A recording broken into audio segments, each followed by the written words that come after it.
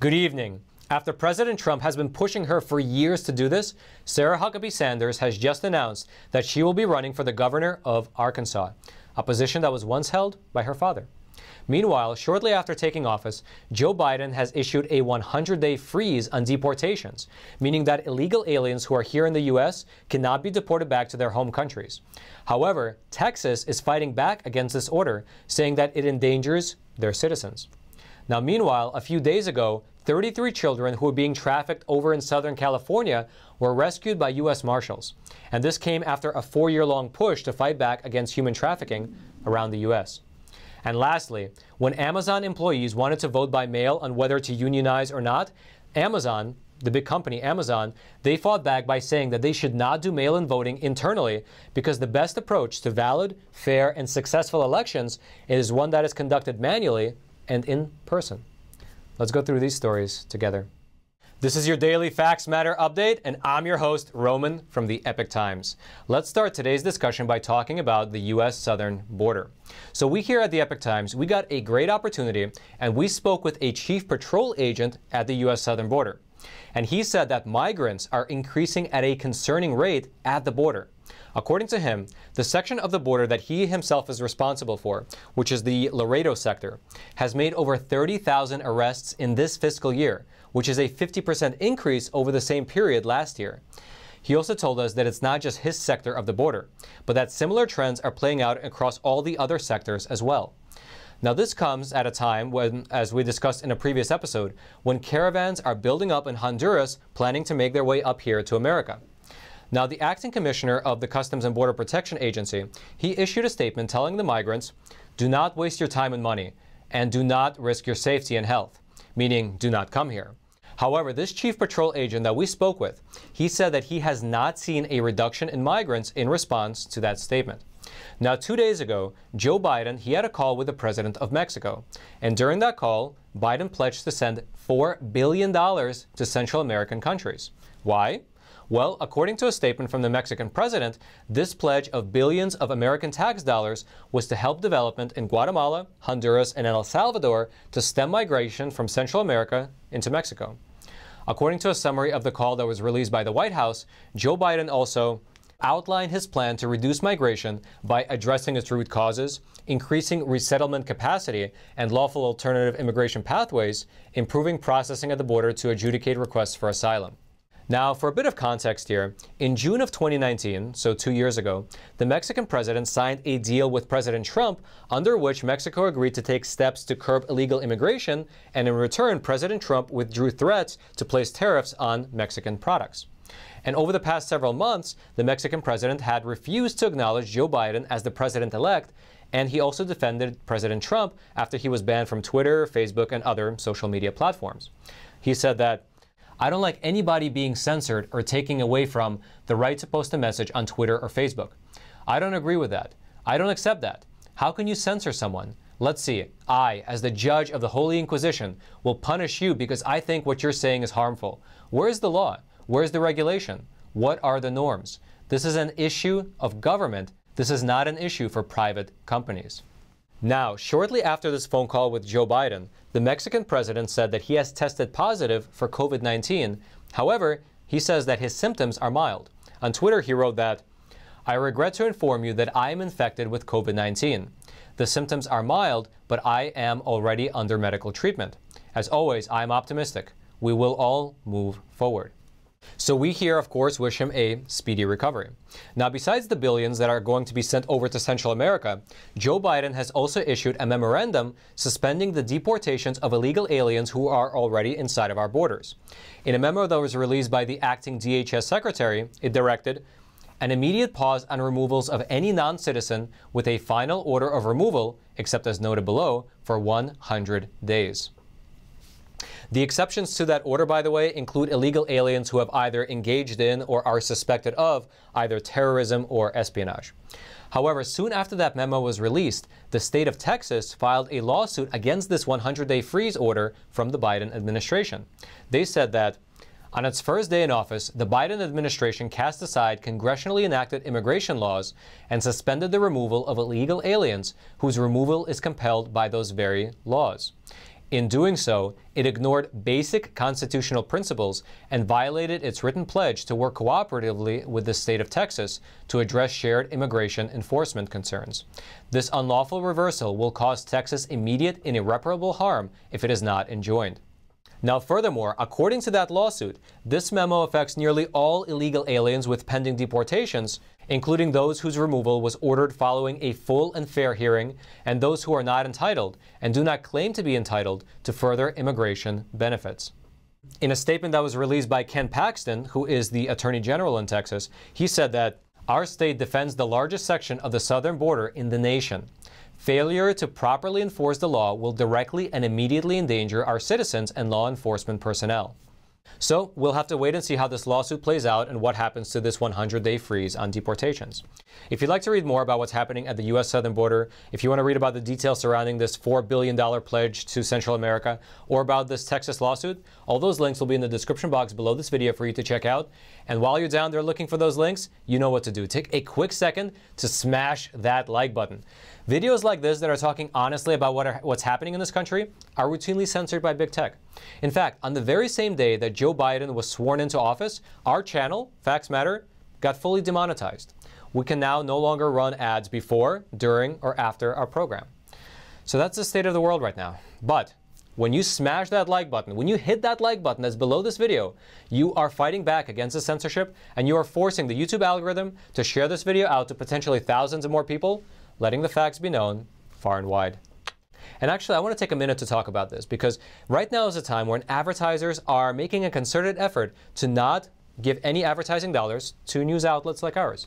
And social media giants like this actually go one step further to just not allow pre-roll ads, mid-roll ads, or post-roll ads to run on our program whatsoever. However, we actually have a great show sponsor which made the decision to sponsor our episode. And let me tell you a little bit more about them in the sound room. That's right. The sponsor of today's program is American Hartford Gold. They are a company that's owned by patriots. That's why they sponsor a program like ours. And they are in the business of selling physical gold and silver that can be delivered directly to your doorstep or gold and silver that can be deposited directly into your IRA account, making the whole thing extremely simple. They have an A plus rating with the Better Business Bureau, meaning that they have um, just excellent service, ex excellent customer service. Uh, they have, and you know what? If you click on the link that's below this video, I'll throw it right in the description box, you can check out their landing page where you can put in your details and they will send you a PDF book sort of as a guide to beginning in investing in gold and silver. They're also currently offering a promo deal wherein depending on how much uh, you buy, they will actually send you some free silver as well, some free silver bullion. So they're an excellent company. You can check them out. Again, the link will be in the description box below, or you can call 866-242-2352. That's 866-242-2352. 2352. Uh, you can also text Roman to 65532. American Hartford Gold, thank you so much for sponsoring our episode. And now, Roman in the studio, back to you. Now, one of the big issues that coincides with the southern border problem, and it's an issue that usually goes unsaid by the media, is the reality of human trafficking.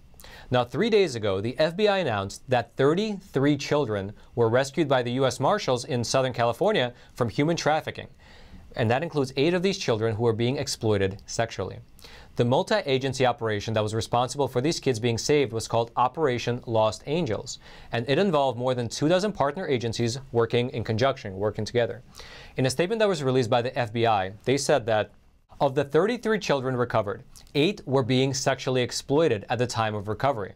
Two were recovered multiple times during the operation while on the track, a common term used to describe a known location for commercial sex trafficking. Now, the FBI has said that the caseload for both sex and labor trafficking has seen a surge in the last several years. And as of November of 2020, so as of about three months ago, the FBI said that it was working on more than 1,800 pending investigations, including cases involving minors. And last year alone, by the way, there was 664 human trafficking investigations conducted nationwide, and from those, it resulted in 473 traffickers being arrested. Now, one of the reasons for the increase in these investigations is that President Trump made fighting human trafficking a top priority of his administration since pretty much the day that he entered office. And this time last year, in January of 2020, he signed an executive order that was focused on eliminating human trafficking and online child exploitation here in the United States. And I think that regardless of your political affiliation, I think all Americans, we can all hope that this kind of effort continues. Now, it was just reported a few days ago that a child sex trafficking victim has filed a lawsuit against Twitter in a U.S. district court. He alleged that Twitter knowingly received and distributed child pornography from which it could benefit. According to the court filing, John Doe, that's the name of the plaintiff, said that he was solicited and recruited for sex trafficking while he was a minor. And after his escape, material depicting his abuse was disseminated on Twitter. And it goes on to say that when Twitter was first alerted to this fact and John Doe's age, Twitter refused to remove the illegal material and instead continued to promote and profit from the sexual abuse of this child. Now, this plaintiff, as well as his parent, continued to contact Twitter multiple times about this content, but Twitter allegedly did not suspend the accounts that were distributing these things until a Department of Homeland Security agent came in and intervened. Now, this, of course, comes in the midst of a heavier than normal censorship push over at Twitter, wherein President Trump was kicked off the platform, along with many other conservatives. The court filing goes on to say that with over 330 million users, Twitter is one of the largest social media companies in the world. It is also one of the most prolific distributors of material depicting the sexual abuse and exploitation of children. This lawsuit seeks to shine a light on how Twitter has enabled and profited from CSAM, which is child sexual abuse material, on its platform, choosing profits over people, money over the safety of children, and wealth at the expense of human freedom and human dignity. Now, if you'd like to read the full court filing, that link will be in the description box below this video for you to check out. And now let's switch gears a little bit and talk about a few things that are happening across America, starting with Arkansas. Sarah Huckabee Sanders just announced that she is going to be running for governor of Arkansas. Now, Sarah Sanders is, of course, the former White House press secretary for President Trump. In her announcement video, she said that America is great because we are free. But today, our freedom and the rule of law are under attack. Everything we love about America is at stake. With the radical left now in control of Washington, your governor is your last line of defense. In fact, your governor must be on the front line. So today, I announce my candidacy for governor of Arkansas and ask for your prayers and your support. Now, for your reference, her father, Mike Huckabee, was the former governor of Arkansas. And also, President Trump has over the years repeatedly said that Sarah Sanders should run for the governor of Arkansas position. He said that, I think she'll do very well, and I'm trying to get her to do that. And later he said that, she is a very special person with extraordinary talents who has done an incredible job. I hope she decides to run for governor of Arkansas. She would be fantastic. Now, that is, of course, a very strong endorsement. So, this election, the gubernatorial Arkansas election, will take place in November of next year, so there's quite a bit of time left in this race. Now, just the other day, President Trump made his first political endorsement since leaving office. Arizona Republican Party Chairwoman Kelli Ward, who is an ally of President Trump, was reelected to her role as chairwoman over in the Republican Party of Arizona after President Trump endorsed her for another two year term. In a short call last week, Trump called on Arizonians to reelect Ward, saying that he gives her his complete and total endorsement and that she is a terrific person. She is a person I know. You'll never find anybody as dedicated to every aspect we're all dedicated to. So after this endorsement over in Arizona, I read some analysis online about how this endorsement from President Trump, which came very soon after he left office, might signal that President Trump will be remaining active in the public political sphere in one way or another. I guess only time will tell what the reality is going to be. Now, while we're on the subject of President Trump, let's talk about two things that happened down in Florida. First of all, a Florida House member is planning to propose legislation that would rename the US 27 route in Florida, which is a route of highway, as the President Donald J. Trump Highway.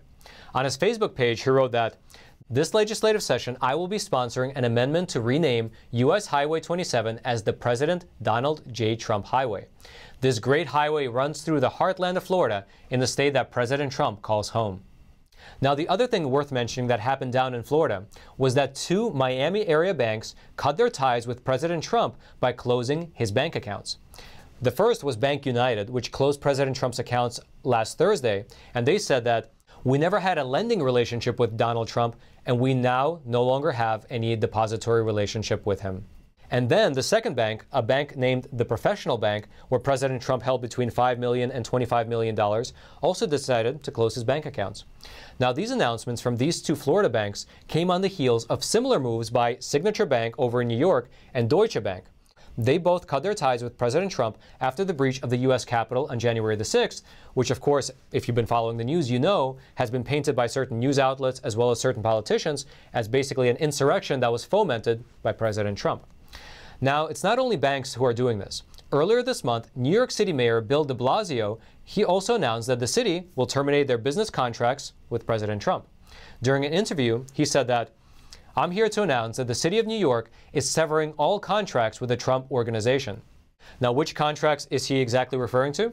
Well, Bill de Blasio said that the Trump organization earns about $17 million a year in profits from its contracts to run two ice rinks and a carousel in Central Park, as well as a golf course over in the Bronx. So now, can they actually legally do this? Can they cut their contracts? Well, according to the mayor, Mayor Bill de Blasio, the city can legally terminate a contract if the leadership of the company is engaged in criminal activity. However, a spokesperson for the Trump organization said that the city cannot cancel the contracts. He said in an email that the City of New York has no legal right to end our contracts, and if they elect to proceed, they will owe the Trump organization over $30 million. This is nothing more than political discrimination, an attempt to infringe on the First Amendment, and we plan to fight vigorously. If you'd like to read more about these happenings in Florida as well as in New York, those links will be in the description box below this video for you to check out. And now let's talk a little bit about what happened over in Amazon. Very soon, workers at a warehouse in Alabama are scheduled to vote on whether to unionize or not. And because of the pandemic, the National Labor Relations Board said that the vote would take place entirely by mail. Their logic is that a mail in election will enfranchise employees who cannot enter the voting location for health reasons or due to positive COVID tests. However, listen to this. Amazon filed a motion looking to delay the election so that it can take place in person with no mail in voting. Why? Well, here's what a spokesperson for Amazon said. We believe that the best approach to a valid, fair, and successful election is one that is conducted manually in person. We will continue to insist on measures for a fair election, and we want everyone to vote, so our focus is ensuring that it's possible. I just want to repeat that for clarity, just to make sure that you heard it right. Amazon, they said that they do not want to have mail in elections internally because they believe that the best approach to a valid, fair, and successful election is one that is conducted manually in person. I hope this video doesn't get taken down by YouTube just because I included that quote. If you'd like to read the full statement from Amazon, that link will be in the description box below this video. And now lastly, as we discussed in our previous episode, on Inauguration Day, on the very same day that Joe Biden was sworn into office, YouTube made the decision to demonetize our channel. We now can no longer run ads before, during, or after our program, and the Super Chat feature has now been disabled. Basically, our sources of funding for this program have been cut off. However, if you'd like to support real journalism, if you'd like to support our work here at the Epoch Times, or if you'd like a conduit to real news, real reports that don't spin the facts, I'd highly recommend that you subscribe to the Epoch Times. That link will be in the description box below this video, and I hope that you check it out because we do not censor the news. We report things honestly, we question the established narratives, we dig for the truth, and then we bring you our findings. Everything is properly sourced. You can make up your own mind after you read our reports. Right now is a time that big tech censorship is so rampant that you having an access to real, honest journalism is more critical than ever. So I'll put a link to it in the description box below this video, and I hope that you check it out and join us at the Epoch Times. Now lastly, if you haven't already, smash that like button for the YouTube algorithm, subscribe to this YouTube channel so you can get honest news delivered directly into your YouTube feed while you still can. And until next time, I'm your host, Roman from the Epoch Times. Stay informed and stay free.